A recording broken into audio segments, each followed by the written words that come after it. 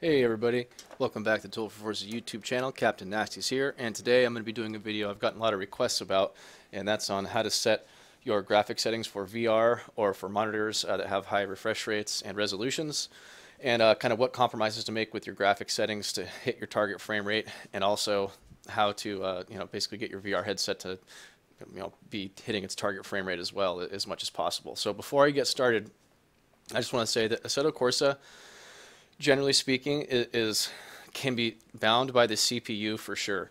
So when you're doing testing, and testing is a big part of getting your graphic settings right, it's really important that you consider that. And I, I like to test with 24 cars on the grid because that's what SRS races, and that, that's generally like how I like to set my graphics up. Um, now that being said, I do a lot of single player racing with you know up as many as 30 plus cars so I, my settings are probably a little bit lower than they could be for 24 cars. I'll demonstrate here, but I think this is going to be a good starting place for everybody. So now that the CPU talk um, is out of the way, let's go ahead and uh, discuss the first thing, which is how to actually test your graphics settings. So there is a benchmark available in Assetto Corsa, but I don't find it to be very beneficial. It just doesn't really tax your system very well. I recommend going to Red Bull Ring and picking a field of 24 cars, maybe like GT3 cars or kind of whatever, you know, a variety of different cars, and then, you know, using that to, to try to hit your target frame rates. And if you can do it at Red Bull Ring with Sol and Shaders Patch going, then you should be good to go everywhere else. The key thing is how do you know if you're hitting your target frame rate? Well, you can see right here this thing called render stats. So when you're on track, you just need to go into your apps, it's right here. You just check on render, strat, render stats, and that's how you can actually see, uh, you know, what uh, what your frame rate is. There's other information here about the frame timing, so that's always a nice thing to see as well. Typically for VR, that needs to be under 11 if you're going to hold the uh, maximum frame rate that your headset will produce. At least that's what it is for the uh, Oculus Rift CV1. And then for this main T here, so this kind of gives you an idea of how hard it's not just your CPU or your main thread. So I've researched this extensively, and the, the what I've heard from Kunos is that it, it's not just your CPU. It's it's it's a mixture of CPU and also your your graphics card, which makes sense here because I think this is only a 24 car race, and it certainly shouldn't be uh, up at 93%. But again, I've got my frame rate unlocked here. It's just doing max, so it's it's running my video card, you know, as hard as essentially as it will go. So now that that's out of the way, ooh, we can see some cool sparks. Nice let's go ahead and jump on into the settings here, guys. The settings video. So this is on my single screen here. You can see I just got everything cranked up because I only have a 1080 monitor, so there's no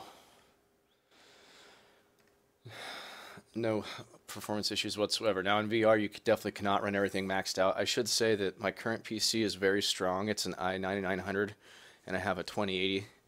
So again, these settings, you know, take that into consideration. Now, I'll also tell you what I ran on my 1070 here as well, and you really only need to change one or two things. I think the rest of the stuff you're probably going to want to leave about the same. Um, but we'll get, no matter what video card you have, we'll, we'll get into that. So for your full screen here, this is how it displays on the screen. I like to run this at the proper size of my actual monitor because I find I had some issues with actually mousing around in VR instead of course without it like that. So um, I have mine just at, you know, 1920 by 1080 there. Rendering mode, of course, Oculus Rift. I do like to click limit frame rate, and I have this set to 91 here. I set it for just one FPS over my target refresh rate, which of course is going to be 90 on an Oculus Rift or whatever the number on your monitor is. For quality, MSAA, I run at 4x for anisotropic filtering, run that at 16x. Now, these are ones where if you have a newer headset or a higher resolution screen, you might be able to get away with taking those down. But in my experience, it's definitely had the best look for sure with those those cranked up like that. World details, I have this set to high. This is one you can compromise on. You can set this down to medium or even low, and you will pick up some frame rate, especially if you're dropping frames in particularly detailed parts of the track. For shadow resolution, I have this on 512 by 512. Like every game, shadows are very taxing, so I try to leave those, you know, turn, turn down quite a bit. You can see they go all the way up to like crazy high and crazy low. So that's a good compromise for me. For smoke generation, I think everyone should have this one set to minimum just on the start of the race. When there's lots of smoke, it just hammers the frame rate. And going into turn one, if a lot of people lock up, it can really be a problem there too. So I like that at minimum. There's still enough smoke. Show smoke and mirrors, I have that checked. For reflections, this is another one that can use a lot of resources. And again, I have this set at 512, which is you know, kind of an, in I'll call intermediate setting, but even with my 2080, uh, this is this is what I run. If you want to increase this, you know, of course that'll, that'll make the reflections look better. Uh, for rendering frequency, I have this set to one face per frame, so you can set this all the way up to like a zillion faces per frame, I think like six, and let's see what it says here about that. Yeah, there's not really a great explanation here on what that is, but I believe that has to do with how many times the reflection is updated. And you'd think that doing that more would take a lot more GPU resources. For rendering distance, I'm not sure why this is on 500. I usually crank this one up to about 1200 or so. Doesn't seem to impact performance all that much, and you won't get those the weird sh shadow casting kind of stuff going on. So we'll just set that to 1300 or close enough to it there. Now post-processing. This is one of the areas that really has an impact uh, in, in my experience, especially with shaders patch. Definitely has less of an impact without shaders and Sol, but with shaders and Sol going, the post processing can really, really uh, hit your, your frame rate. So this is really a really good one to pay attention to. So we're assuming that you guys are on shaders patch and Sol. So of course you want the Sol filter. And you know, for me, again, this is how I run these, and this is with lots of cars on the grid as well. I'll touch on that uh, after I go through this section. But um, th this is something you wouldn't be worried about jumping in a full grid with with these settings. So for overall quality low, glare quality low, depth of field off, motion blur off, saturation 100, no heat shimmering, no sun rays, no FX AA. For mirrors, now if you have some overhead, then this is a good one to crank up before I move on. So overall quality, it, you can definitely tell a difference in the way like light bounces and reflections and kind of all the cool, really like extra eye candy kind of stuff. If you turn up this overall quality to high, it does look a lot better, but it definitely will impact your frame rate. So that's a little bit about that. For mirrors, again, 256 by 1024, check high quality here. Now here's the main one that you're going to want to make changes to depending on your video card. So these settings I'm showing you here, honestly, I think are pretty good for like basically no matter what, what card you've got for VR. Now, if you have a high resolution headset, let's say like a Valve Index or an HP Reverb, you can probably just set this pixel density to, to one. And what that means is it's, there's going to be no super sampling going on. And with those higher resolution headsets, uh, you really don't need to super sample because they've already got high resolution. Now me, I still have the Oculus Rift CV1 and it, it certainly is not high resolution compared to you know, the headsets that are, that are new nowadays. So I'm able to crank this all the way up to 1.5 with my 2080. When I ran my 1070, I would run this right around 1.3 and I would run world details turned down to low. And, um, you know, it was did not hold 90 frames as consistently even as my 2080 does with these settings you've got here. So this, the, the pixel per display, if you're not able to hold 90 FPS, this is one to start taking down for sure. And again, I think a good target is 1.3 on a 1070 and for me to not have it run, you know, in ASW mode to be in 90 hertz, I, I have it at 1.5. I've heard of people running it higher than that, but I'd be a little surprised if they're really not, you know, getting put into uh, ASW mode, you know, or reprojection, whatever your headset calls it mode. So for skybox reflections, 150 LOD bias is just zero, and max frame latency is set to, to auto. So it just means whatever your, your video card defines it as. Let's go over to custom shaders patch because there's a lot here as well. So first of all, I'm on version 1.25 preview 205, which is the most recent one, but it's like over a month old. So that's a good sign. I'm going to say it's it's definitely stable. I've noticed no issues. It's the best performing, the best one for sure. So that that's what I'm on here for this car configs and through backgrounds here, this is all file kind of stuff that I've never really messed with. It just kind of shows you what your content will and will not support for shaders patch. So we're going to skip that and go right into the extensions mode here. So first of all, you want to make sure that your custom shaders patch is actually active. Oh, and we should show you this here as well before I get too into it. So when you go to content on the right and then mods here, make sure that shaders patch and Sol are listed over here as installed. So for general patch settings, go ahead and check activate. So you can see here for the UI settings, load car names from the JSON, add prefix to the, the car names. I'm not even really sure what the hell that, that does. Um, you know, this is a cool one because it'll tell if, if you find that your mouse comes on too much when you don't want it to, then you can increase that and it'll make it less sensitive. So that's kind of a cool one. You know, you can hide things, which I don't want to do. Uh, custom air handling for Python apps. I, am not really even honestly sure what that one is either. Uh, just car cameras. This is not all the exciting stuff. So, but there's two cool things, and I think the some of the coolest things about Shaders Patch are things that people don't really know about. So let me let me just jump into one of them right here, which is disable brake sound. Oh my god, if you drive cars with the brakes squeal like crazy, like the DRM cars or lots of stuff, it's super annoying to me, and I really like being able just to switch that off. So that's that's one thing I really found a lot of value in. Uh, there's another uh, sound setting here. So if you want to hear just the exterior sounds of the car, you can check this. So uh, use exterior sounds everywhere. So if you're like driving a GT3 car, like the Lamborghini Huracan GT3 is notorious for this, or the Porsche, they have these like really annoying downshift warning buzzers, and I that's that that bothers me. And the cars, actually, you can just get that raspy, cool engine note from the outside. So I, I tend to like to use the exterior sounds everywhere and no you don't get quite as much differential noise or anything like that. This is super personal preference as all this stuff is. But this is one i kind of have fun messing with especially if i'm driving a car with an annoying downshift buzzer i'll typically uh, check that box. And i've got it unchecked here probably because i was driving some vintage cars or something something like that. This is the one of the few ones i kind of will come in here and switch uh, off and on. Everything else i really just don't touch.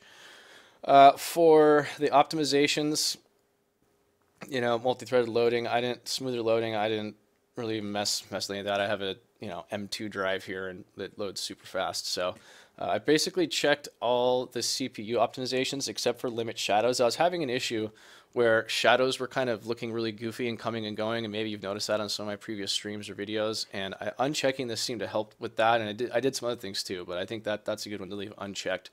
For GPU optimizations, again, I just checked optimize uh, meshes. Uh, when I had optimized draw order checked, I had some interesting uh, shadow things happening too. Uh, that again, I'm not totally sure was related to this or that, but I, I again, I, I, found that to be better with this uh, unchecked. For Hot Lapping Ghost, I didn't adjust anything. So I don't have a lot of stuff checked here. If you go into Shaders Patch and enable like all this stuff, you'll absolutely hammer your frame rate. And a lot of this stuff is cool, like the brake disc effects. That is definitely a cool one. If you can get away with it and you're on a single string or something, definitely check that because it works great. For car instruments, I don't like this one. So I found some glitches with cars where the gauges would look funny. And so that that's a kind of a neat one, but I don't have it checked. Uh, for chase camera, chaser camera, don't even know what that is. I don't, don't chase camera, don't know what that is. Chat stuff. For extra effects, um, I just found that this one really hit my frame rate. I just activated it and kind of left it on default, you know, stuff. Uh, I just checked, I think, you know, like some TAA and some other stuff, and it just it, it hit my frame rate and didn't didn't seem like it was a good idea. For fake shadows effects, this is another one that's actually pretty cool, but I did found that it it, it you know is noticeable on my frame rate, so I disabled that one. But if you have again, if you have the headroom, that's a cool one. For your camera, that's the free camera. I'm not worried about that. For graphic adjustments here, this is another one I played with, and I had this on for a while and turned it off, and I I just found again that this one, I, I just seem to get lower frame rates with this activated. And It did test these one by one to try to eliminate variables. So one you have to have checked if you're going to get SOL to work here is this lighting effects. So make sure that this is on active for sure. Make sure the brightness is set, you know, I think 100 is what they, they, they recommend for SOL, and I think that looks really good there. Uh, one thing that you can do to help performance is cars casting lights. You can, so I have this turned down to 12 if you crank this up, it definitely will hit your frame rate. So this is a good way to save a couple frames here. The rest of the stuff is just standard. Don't think I touched the rest of it. For the G27, I'm not even don't know what that is. I haven't had Logitech for a while. For neck effects, this is like a drip. You know, think of it as a camera that's going to look into the corners for you. This might be cool if you know if you're not using VR, but for me, I, I don't definitely don't want that checked because it would make me throw up probably if it's like looking when I'm not looking. For AI behavior, this is something I have checked just if you want to have uh, AI that can go both directions on like a road course. You need to have this going on. Yeah, allow to drive wrong way. Uh, you can also have this um, AI flood where you can kind of have AI just spawn all around the track. So that's cool for trying to drive in traffic and things like that as well. But you know, last I was using this, I wasn't doing that, so I don't have those checked. Loading screen is just you can you know it just gives a little more information, I suppose, on the loading screen. For nice screenshots, this is one I've definitely been playing with because I like to play with taking pictures. And uh, I have, yeah, I think this is all just how it pretty much comes the factory. The one thing you want to make sure you have set is your shutter speed, so you can make a lot of make your images look a lot different. So it's fun to play with the shutter speed uh, for sure on here. That's something I've spent some time messing with, and, and you can make cool blurry, and it just changes some cool things. I'd recommend playing with that if you like to nerd out on pictures. So for particles effects, this is one um, that I really just use for sparks. I don't have any of the rest of the stuff checked because particles sounds like it's going to be a big frame rate hit to me. And uh, quite frankly, I didn't test these extra options, but I, again, I'm trying to save save frame rate here. Uh, the new smoke and dust is actually really fun, but it um, it's like too, way too much. Like if someone goes off the track, like you can't see anything. So it's fun to play with. It'd be really cool for drifting. If you, if you drift, I would definitely check the new smoke and um, it probably will affect your frame rate, but you're probably not going out there with like 30 cars on the track drifting, so you can probably get away with it there. Reflections effects. Um, this is another one that has to do with, you know, masking the outside with the silhouette of the car interior, so it just make, makes the shadows in the car look a little bit different. Again, I didn't, shadows equals using a lot of frames up, and I didn't, didn't want to do that, don't want to waste resources on that. Shadowed wheels, kind of the same thing. Smart mirror. This is a super cool one. This is one where if you can get away with the overhead, I would do this one first. So, but unfortunately for me, it just seems to it just seems to hit my frame rate too hard, which is unfortunate. So what this does, it means when you like move your head around in VR, your mirrors will actually move, uh, you know, accordingly. It's really really neat, but uh, it, it, just cost me too much frames, and unfortunately couldn't couldn't get away with it. Uh, for smart shadows, uh, you know, altering shadow splits. Yeah, this just, you know, seemingly static cameras, orbit camera. I don't really use that stuff, so I didn't didn't really want to mess with it. That might help in replays or something like that, but might play with that in replays. For the taskbar here, so this is like all your apps and stuff like that. Definitely check this one. The stuff is all stock, but it makes it so it's nice and small and you can get through it easily. It's way better than, than uh, just the standard one. I highly recommend that. Track adjustments here. So, you know, adding amount of spectators, etc. So I don't have this one checked because I don't want to adding a bunch of world details and then like hitting my frame rate unexpectedly. So I just leave this one on unchecked here.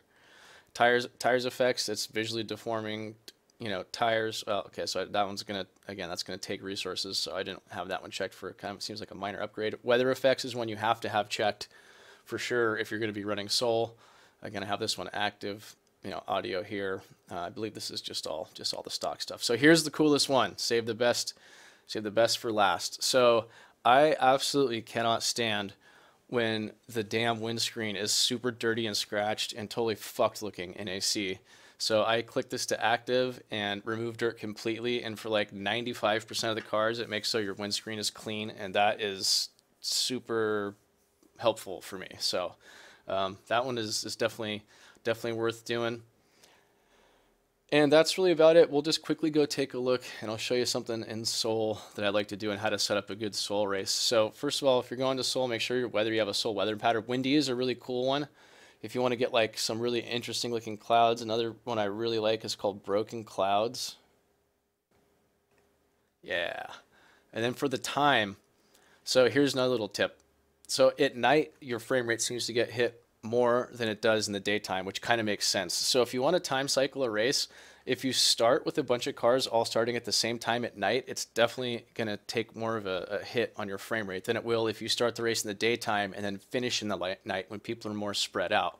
So if you want to do something like that, you know, set the, the time to, uh, you know, whatever, something like, you know, this is three o'clock in the afternoon. Let's, let, let's set it to five o'clock, 1700. And you check, you have to check these three little buttons here and time multiplier, you can put whatever you want. 60 is way too much. I think you know 20 is a pretty good number if you want to cycle relatively quickly, but you know have it not be like a crazy disco party. That's a that's a great one. And uh, I think that's really about it for this video, guys. I know I, I made this because I got a lot of questions. Uh, I appreciate you guys supporting the channel with likes and subscribing. And uh, keep your eye out for more live streams and for more club racing. Uh, as the winter comes, we're going to start to get uh, a, more formalized thing going on Thursdays with 2Old4Forza and come race with us on Race Department on Wednesdays as well for Assetto Corsa. This is Captain Nasty's here, guys. Over and out.